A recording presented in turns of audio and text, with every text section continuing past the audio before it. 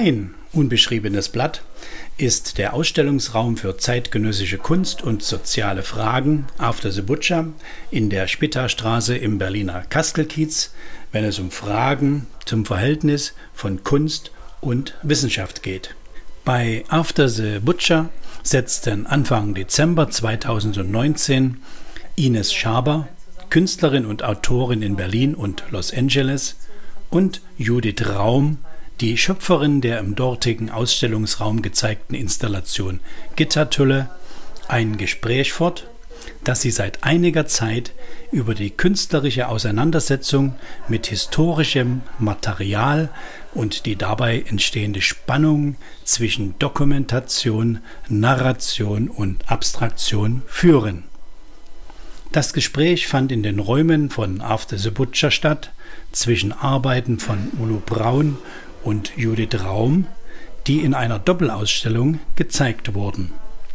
Judith Raum bespielte mit Stoffen und einem Video den Raum, während Ulo Braun großformatige, farbige Collagen zeigte. Judith Raum hat als Künstlerin mehrere Jahre zur Textilwerkstatt des Bauhauses geforscht und daraus Lecture Performances und Installationen entwickelt, wie die bei After the Butcher gezeigte Arbeit Gittertülle, in der es um die am Bauhaus entworfenen Vorhangstoffe von 1933 geht, dem letzten Jahr der Institution und dem Beginn der nationalsozialistischen Herrschaft. Warum Judith Raum nun gerade zu den Gebrauchsstoffen und dort besonders zu den Gittertüllen der Bauhaus Textilwerkstatt forschte, legte sie eingangs der Finissage dar.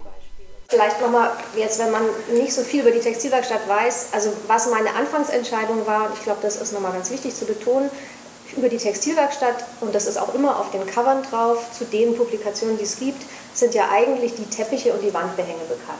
Ja, also es wurden ja in der Textilwerkstatt auch von einzelnen Weberinnen, Anja Albers kennen alle, ne? Gunter Stessel kennen noch manche, Einzelwerke geschaffen, Unikate, und die werden auch äh, also über, ihre, über ihren Look sozusagen heute extrem verbreitet nach wie vor.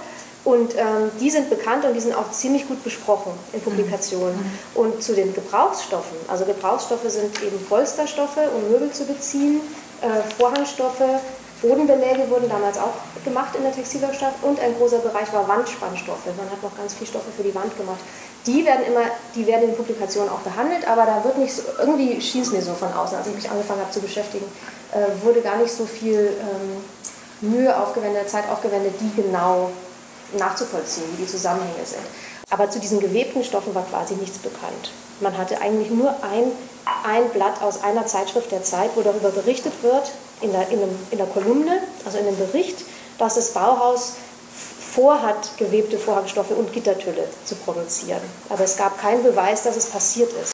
Weil es gab, sehr, es gab relativ wenig. Ich habe halt bloß so lange gegraben und noch einiges gefunden. Ne?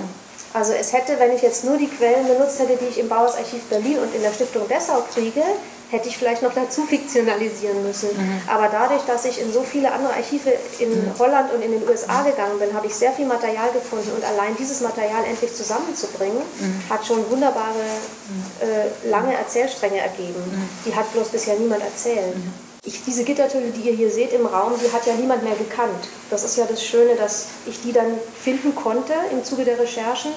Ähm, die lagen unerkannt im MoMA, in der Sammlung des MoMA, aber eben auch nicht digitalisiert. Also ich habe dann nach langen äh, Suchbewegungen meine äh, E-Mail ans MoMA geschrieben, ob sie denn ein bestimmtes Musterbuch hätten auf der Suche, nach dem ich bin. Und äh, äh, und dann haben die mir geantwortet, tatsächlich haben sie ein Musterbuch gewebter Vorhangstoffe. Und das war dieser Missing Link, also dieses Musterbuch, das allen gefehlt hat. Ne? Und dann sind diese, und die hatten die, und die haben auch davon gewusst, nur sie haben nicht davon gewusst, was für eine Relevanz das hätte, wenn die deutsche Forschung davon wüsste. Also niemand hat hier davon gewusst. Ne? Mhm. Sie kannten das in ihrem Haus. Ne? Aber dort hat es keine hat, Rolle gespielt. Hat dort nicht so eine Rolle gespielt. Bei den Gittertönen hat mich natürlich beschäftigt, wir kennen die ja vielleicht nur noch aus so Großmutters, äh, Großvaters Wohnungen die sind ja irgendwie ausgestorben, aber das war ja Material, also äh, das Bauhaus hat damals eine Kollektion von Vorhangstoffen herausgebracht und diese Kollektion bestand einfach aus unterschiedlichen Typen. Und die hatten unterschiedliche Funktionen. Und die Weberinnen haben da damals auch sehr genau darüber geschrieben, haben eine ganze Theorie dazu entwickelt, äh, über ihr Medium und eben auch über diese Typen von unterschiedlichen Stoffen. Und die haben verschiedene, äh, sollten verschiedene Funktionen im Raum erfüllen. Also das erste sind die Gittertülle. Die sollen, die sind die, sozusagen die lichtdurchlässigsten in einer Abstufung von lichtdurchlässig bis blickdicht. Da gibt es unterschiedliche äh, also Dichtigkeiten. Äh, und äh, die, die Gittertülle sind die transparentesten oder transluzentesten. Äh, und die waren gedacht dazu, wenn sie zugezogen sind vor dem Fenster, zugezogen zu sein während des Tages und das Licht zu zerstreuen, wenn die Sonnenstrahlen einstrahlen, also dass es nicht zu grell und blendend ist und auch diese Gittertöne, die wir jetzt hier auch sehen, sind eben früher in Deutschland produziert worden in den 20er, 30er Jahren. Die waren total in Mode. Und die Firmen, die die produzieren konnten, da braucht man ganz spezielle Maschinen dafür, sogenannte Bobinett-Stühle. Das ist keine Webtechnik, sondern eine maschenbildende Technik. ja, und die, ja, und die ist, das ist sowas ganz, und die sind elf Meter breit, also kolossale Maschinen. Und diese Gewebe kommen auch elf Meter breit da raus. Und da gab es 80 Hersteller allein in Sachsen in den 20er Jahren und die sind alle weg. Ne? ist nichts mehr. In Deutschland gibt es das überhaupt nicht mehr, ist ausgestorben. Und in Schottland haben wir eben einen Hersteller gefunden, der eben auch zufällig noch dieses eine Produkt, was ein Bauhausgittertüll war, herstellt. Weil das ist sozusagen wie so ein Grundvokabular dessen, was die Maschine kann. Die Maschine kann als Grundvokabular dieses Gittermuster. Und damals hat man viel kompliziertere Muster gemacht und der Move vom Bauhaus war zu sagen, nee, Moment, wir gehen zurück auf das, was die Maschine ganz grundsätzlich kann. So ein cooles Muster aus Gittern, ne? also aus Quadraten. Äh, und deswegen war das für, fand ich auch wirklich schön, das zurückbringen zu können nach, nach Sachsen, ne, nach Leipzig, äh, was da einst äh, weit verbreitet war. Mhm. Das, war eine, das waren im Grunde die Stoffe, die hier im Raum sind, nur noch mehr. Und das war eine raumgreifende große Installation, die war 4,50 Meter hoch. Also die Stoffe konnten sich sehr gewaltig entwickeln im Raum.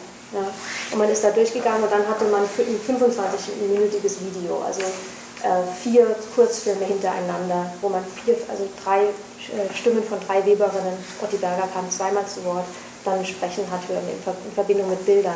Nach den in grandiose Tiefe gehenden Ausführungen von Judith Raum zur Textilwerkstatt im Bauhaus und den ausgestellten Gittertüllen und weiteren neu gewebten Bauhausstoffen für Judith Raums Projekt von der Leipziger Textildesignerin Katharina Jepsen neu gewebt, gab es von den Besuchern der Finissage viele Fragen nach der Annäherung an oder Abgrenzung von wissenschaftlichen Arbeitsweisen und nach der künstlerischen Form der Verarbeitung. Und wie mit diesem Thema weitermachen. Darüber verriet Judith Raum dann abschließend ihre Vorstellungen. Ich hätte eine große Frage, wie du damit weitermachst. Auch, äh, also wenn das, du hast ja sehr viel Information und sehr viel Material und auch ein großes mm, Bedürfnis darüber zu sprechen und das zu vermitteln. Ne? Also ob das schon die Form hat, die es für dich benötigt, irgendwie darüber zu sprechen. Ja, auch ein großes Buch sein oder also ich finde, so von, vom Erleben her, was jetzt dieses Jahr passiert ist, muss ich sagen, finde ich fast die äh, Lecture-Performance-Momente, die Auftritte am befriedigendsten, mhm. weil da, glaube ich, sich unheimlich viel vermittelt, wenn ich selber im Raum bin und auch noch äh, dann ja, mit Handlungen im Raum was manipuliere und gleichzeitig diese intensiven Fotos von den Stoffen dazukommen und mein interpretatorischer oder narrativer Text und dann danach aber die Zeit ist, dass, dass man drüber redet und so. Also die Leute, ich hatte auch zum Teil Stoffe dabei. Ich habe hier auch noch ein paar kleinere Stoffproben, die wir gerne angucken können, hier nach dem Gespräch. Also dann sind die Leute auch immer nach vorne gekommen und haben verschiedene Stoffe noch mit angeguckt und wir haben nochmal im Detail darüber gesprochen. Also es waren sehr intensive Austauschmomente. Mhm. Hier ist so ein Otti Berger Stoff. Und ähm, das fand ich eigentlich sehr befriedigend.